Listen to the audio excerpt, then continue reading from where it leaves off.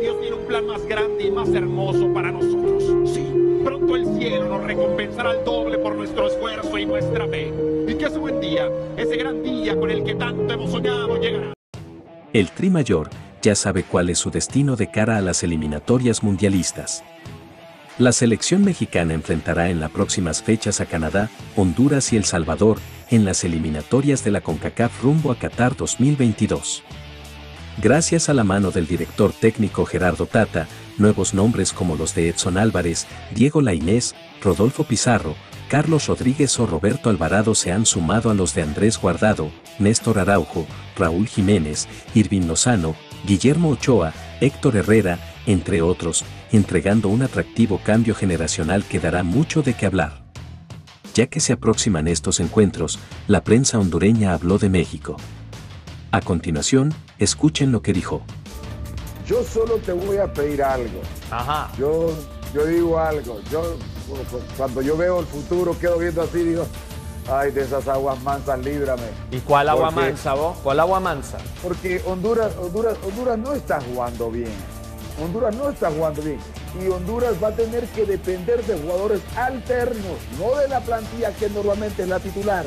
Va a tener que depender de jugadores alternos. ¿Por y qué? que ojalá esos jugadores alternos estén a la altura de lo que va a venir.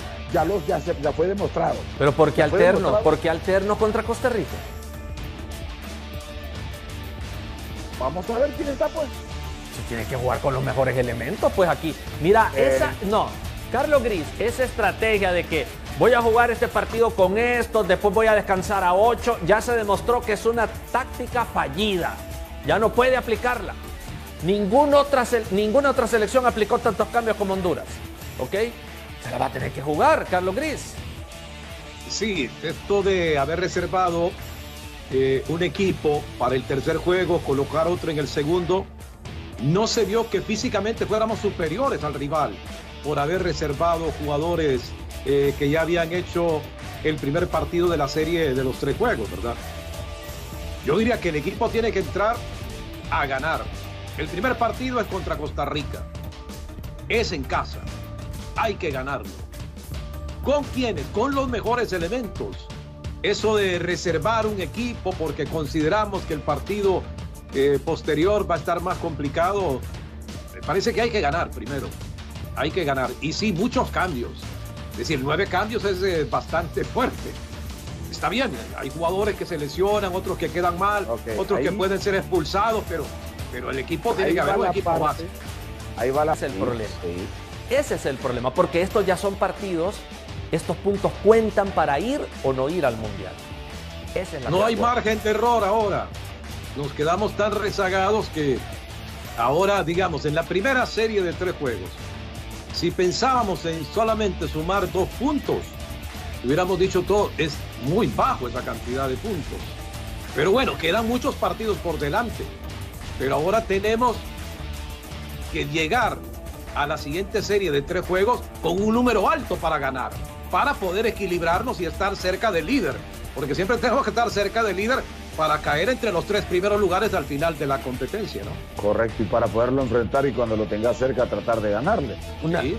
una- una es pregunta. Eduardo, una pregunta. ¿Es muy excesivo decir Honduras debe sumar mínimo seis puntos?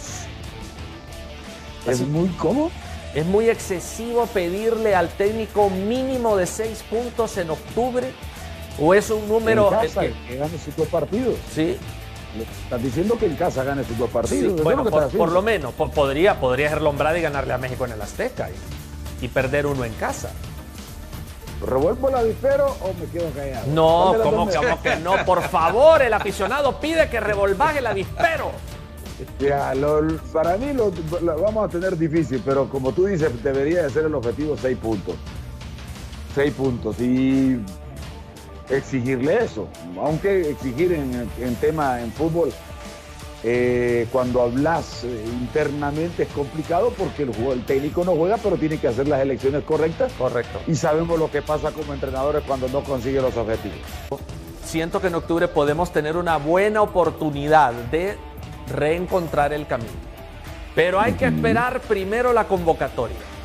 Primero, El bendito listado. ese es el listado. Por ahí empieza todo, así como empezó todo Yo para listado, septiembre.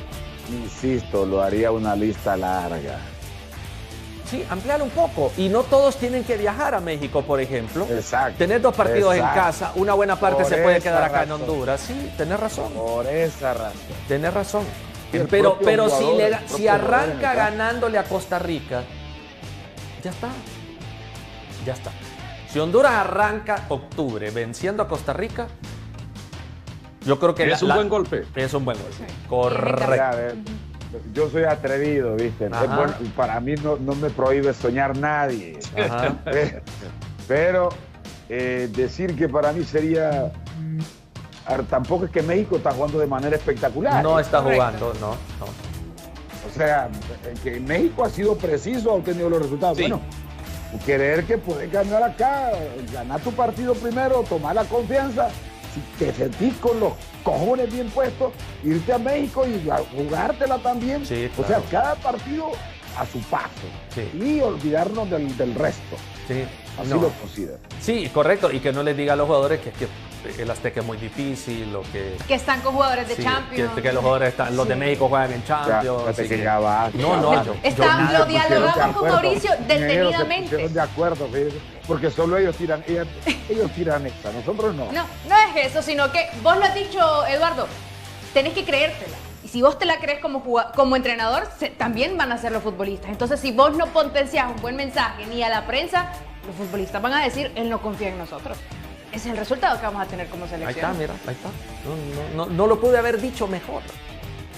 Y él dice, es cierto.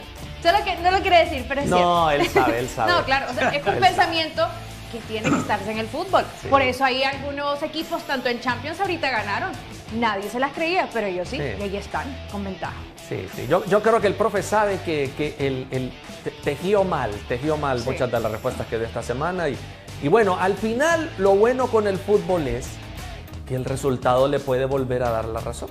Total. Y ya está. Por eso digo, si arranca ganándole a Costa Rica, comenzamos a respirar más. Unos equipos, tanto en Champions ahorita ganaron. Nadie se las creía, pero ellos sí, Sí. y ahí están, con ventaja. Sí, sí. Yo, yo creo que el profe sabe que, que el, el te- tejió mal, tejió mal Sí. muchas de las respuestas que dio esta semana. Y, y bueno, al final lo bueno con el fútbol es que el resultado le puede volver a dar la razón. Total. Y ya está. Por eso digo, si arranca ganándole a Costa Rica, comenzamos a respirar más.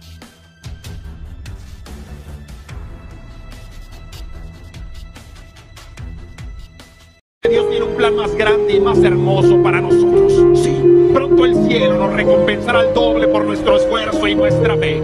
Y que ese buen día, ese gran día con el que tanto hemos soñado,